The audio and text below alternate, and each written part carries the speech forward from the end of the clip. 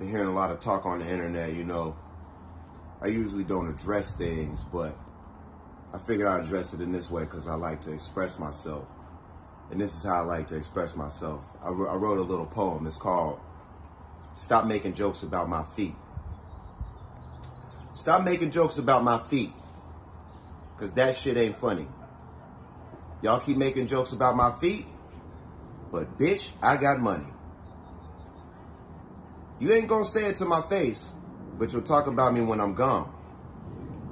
Your toes probably look like that too, but you got nail polish on. When I seen all those tweets, you can't imagine how I felt. I get pedicures, but my feet still dry. So don't laugh, send help. Stop talking about my feet, because that shit ain't funny. Y'all keep making jokes about my feet, but bitch, I got money. When I log online, I seen all types of disrespect. Bunch of niggas talking shit. Not one nail tech. Talking crazy about Wiz Khalifa, like your shit's so neat. Look down past your phone and take a picture of your own damn feet.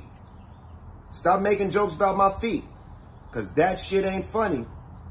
Y'all keep making jokes about my feet, but bitch, I got money.